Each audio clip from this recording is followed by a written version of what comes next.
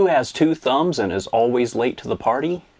This guy. Finally got my hands on a Raspberry Pi 4, and I thought this would be a great opportunity to talk about some of the other models of the Raspberry Pi and uh, talk about why, if you're not a Raspberry Pi enthusiast, but it's something that you've heard of, that's something that maybe you've thought that is only limited to, say, um, tech enthusiasts, I want to tell you it is not that hard to get into the world of Raspberry Pi. I know that uh, these little credit card size looking uh, single board computers look like they could be intimidating, but they are actually not. And most of the projects that are involved with Raspberry Pi are so uh, simplified and so well documented that most people can really just download the images, flash them to an SD card, plug them into a Raspberry Pi, and be up and running and good to go.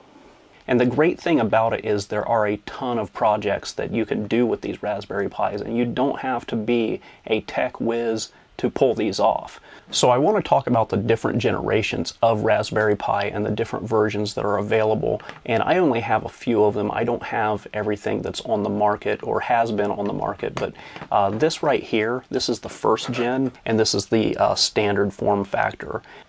The big differences between the first gen and the following gens is that these used full-size SD cards. The next gens used micro SD cards. These also had, they had your standard HDMI output port, but they also had an analog port here. Now, what a lot of people don't know is that this is your analog port for video, this is your analog port for audio. The current versions, the current gen has a, uh, you can plug a breakout cable into this that this is analog audio and video from this port here in addition to your HDMI. This is a Model 3B. I've got a 2 written on here. Ignore that. It's because it was the second unit in a cluster. But um, another big difference between the original and the following models is that the original model had a 26-pin GPIO and the current models have a 40-pin GPIO. And this being the Model 3, uh, when they released the Model 3, they added Bluetooth and Wi-Fi built into the chip. These original models did not have Bluetooth or Wi-Fi, and the version 2 also did not have Bluetooth or Wi-Fi. The next big difference is the USB ports. Model 3 USB 2.0, Model 1 USB 2.0, Model 2 as well had USB 2.0. The Model 1 only had two ports. With the Model 2, they added four ports this being Model 3 also has four ports. That's the big difference physically between these two models that you can actually see. You can see the board layout is considerably different. The cases were different carrying through from the first gen to the second gen. And uh, now with the fourth gen, they're even more different. So we'll go over that when I open the box up of the fourth gen and take a look at that. I'm going to throw a spec sheet up for each model on the screen so you can take a look at this yourself. What I don't have to show here that I will also throw up on the screen uh, is a Raspberry Pi Model 0 and the Model 0W. The Model 0 was a model without Wi-Fi and the Model 0W was a 0 that did have Wi-Fi. So with all of that being said, I want to get into the unboxing of this Raspberry Pi Model 4. Uh, this is considerably more powerful than even the third gen and has a lot more features. Um, basically, uh, this is the kit that I got off of Amazon. I'm going to put a link to this in the description below so you can check it out for yourself. This kit cost me around $100 and in the kit we've got the Raspberry Pi itself, We've got a power supply, uh, a micro SD card, a fan, micro HDMI to full size HDMI, some promotional and instructional paperwork, a case, a USB-C adapter, And this is a oh, this is a USB uh, power switch cable. As I see this, one thing of note that I wanted to point out is that the original generations of Raspberry Pis, most of them did not come with a uh, power switch on the plug. And the Raspberry Pi doesn't have a, a power switch built onto the board.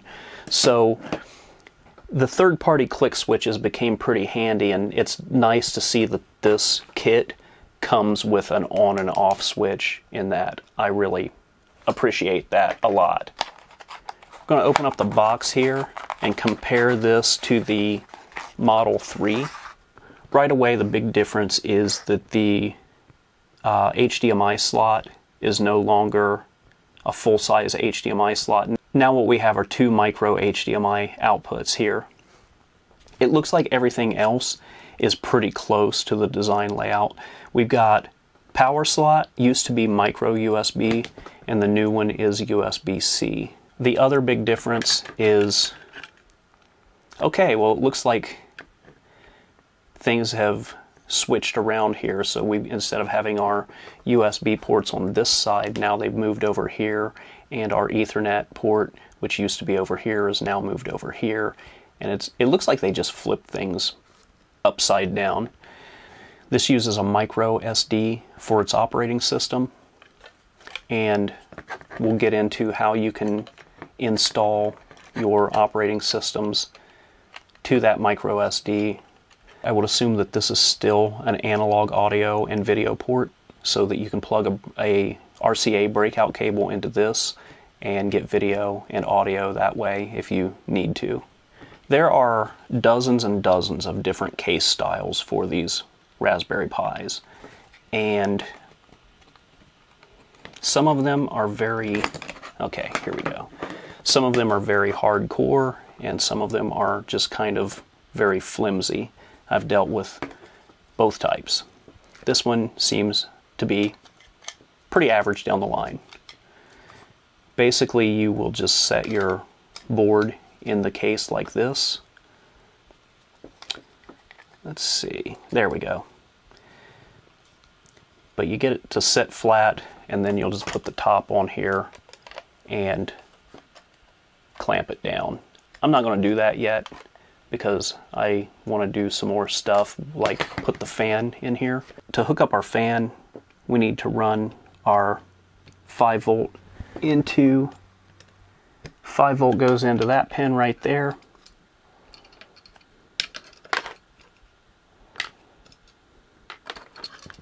And our ground goes into the pin right beside it.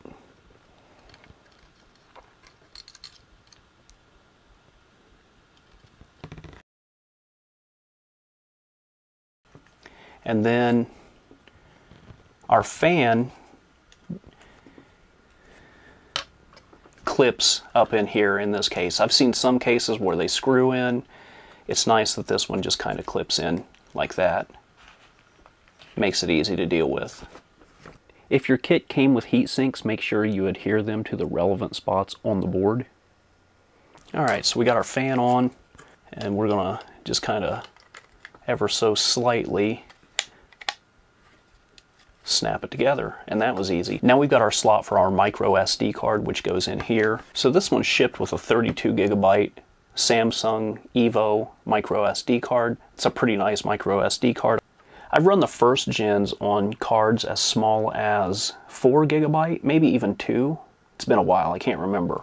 But anyway, this is a for a lot of, of uh, operating systems that run off of the Raspberry Pi, this is overkill but it's better to have it not need it than need it not have it. So I'm going to throw this in here.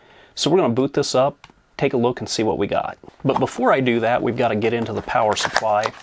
And I can tell you already, this is a lot heavier than the power supplies that came with the Raspberry Pi 3s and less. This, this thing really feels like it's no joke and that's because I imagine the Raspberry Pi 4 takes a lot more power than previous models.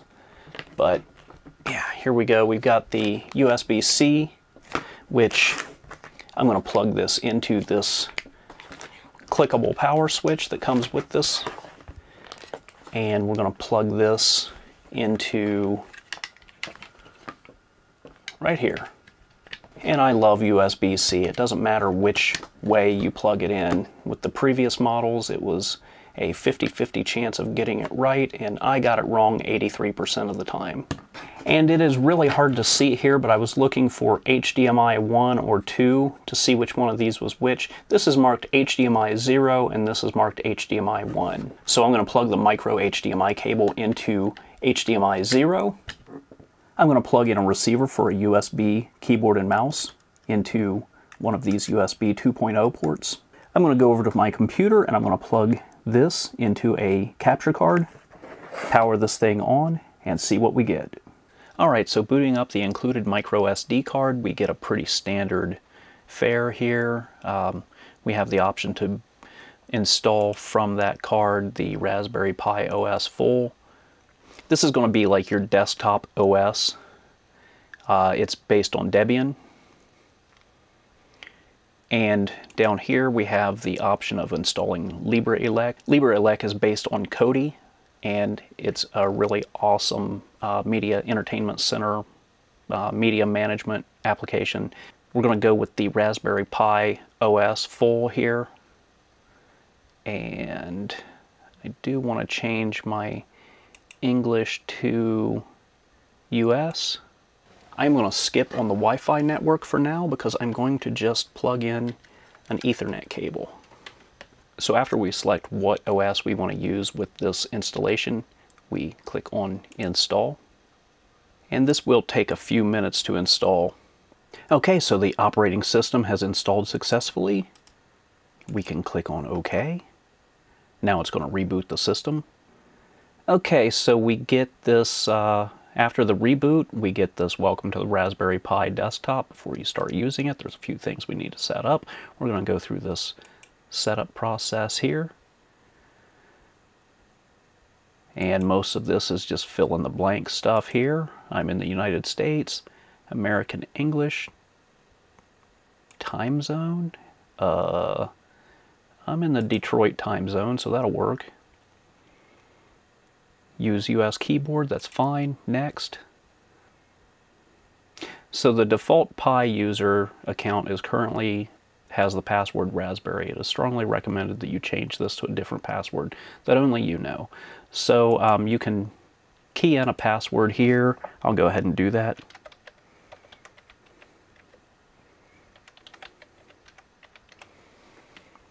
Um, it says the desktop should fill the entire screen. Tick the box below if your screen has a black border around the edges. We see that I indeed do have this, this black border, so we're going to tick this checkbox here, click on Next. I'm gonna, I don't want to add this to a wireless network. I've got it plugged into an Ethernet network here, so I'm going to skip that. And it says the operating system and applications will now be checked and updated if necessary. This may involve a large download. Click Next to check the Press Next to check and update software. Skip to continue without checking. I'm going to skip this for now. And your Raspberry Pi is set up and ready to go. Press Restart to start restart the Pi. I'm going to restart this.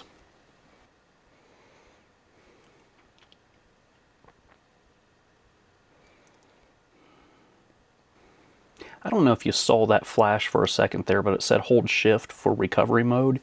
I think what happens if you hold shift when you do boot up like that is it will launch the Noobs installer again. Okay, so here we go. This is our desktop, and I love this beautiful background here. I think that's Thailand.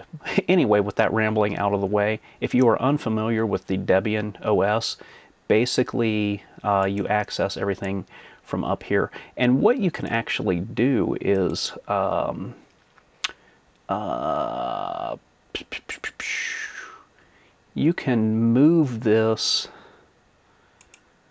down if you want. And that's how I prefer it. I use Windows about 90% of the time, so I just prefer my taskbar being down on the bottom and the launch uh, the launch menu being down on the bottom left. Just a personal preference. So in here we've got different things that we can use. We've got, um, you know, we've got where we can go in here and mess around with our different uh, preferences. Um, we've got uh, our file manager here, which is also down here on the taskbar. You can. This is how you get around the operating system. The directory structure is in this. The directory structure is launched from this folder here close that out. But you can see that it's got a it's got a layout that is somewhat intuitive as far as finding your things. You've got your documents and your downloads, music, music and pictures, videos, all that good stuff. You've got your Office applications here that are based in LibreOffice. You got some games here. Um, I don't really know my... I Okay, sure, let's play some Minecraft.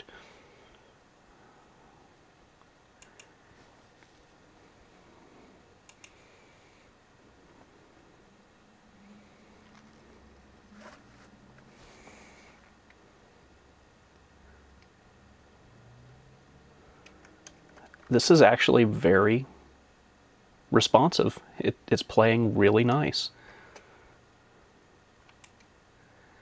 I know I'm supposed to be using a shovel or whatever here, but um, I haven't played Minecraft in five ever.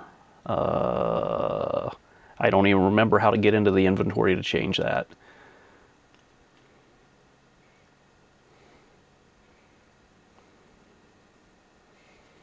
But for a computer that's the size of a credit card,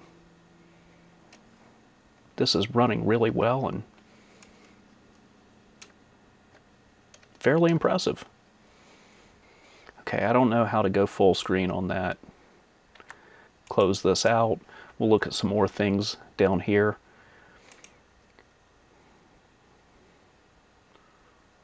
So we've got VLC Media Player, We've got the Chromium web browser, which is a, for all intents and purposes, think of this as Google Chrome.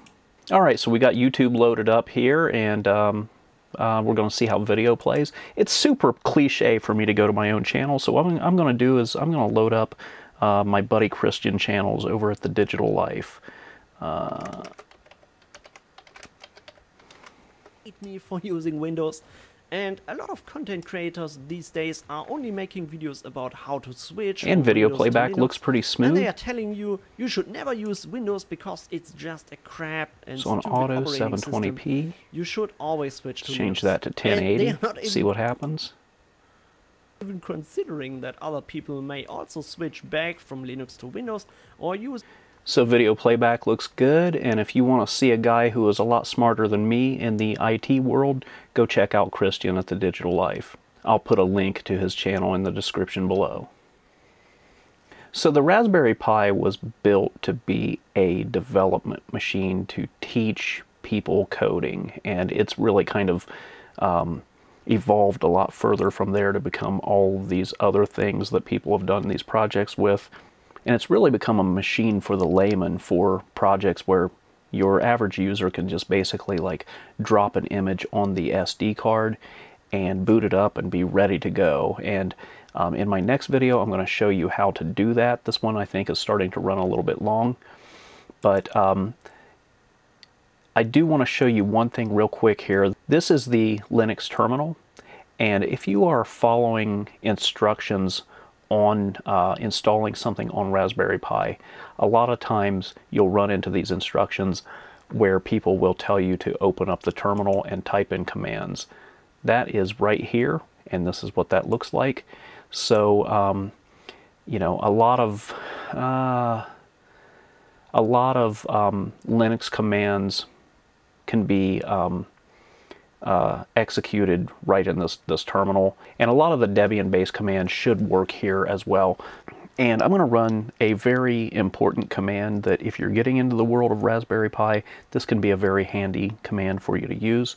But uh, this is just, it's, it's, it's raspi config.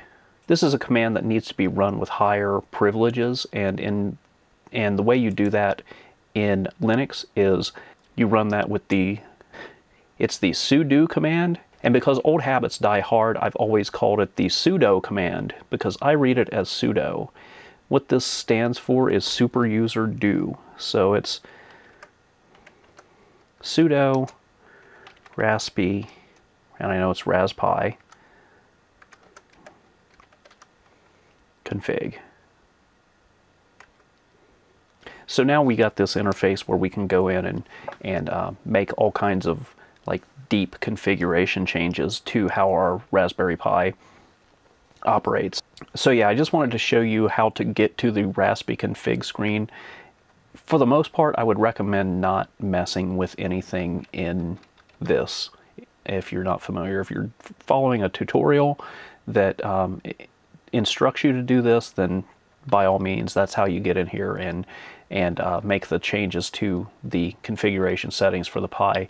But for the most part, like I said, if you don't know what you're doing, just leave this alone. So that's my mini tour of the Raspberry Pi for the absolute beginner. If you're interested in content like this, stick around because in the coming weeks I'm going to be doing a lot more stuff with the Raspberry Pi 4. Next week I plan on showing a port of the Linux FX system to Raspberry Pi.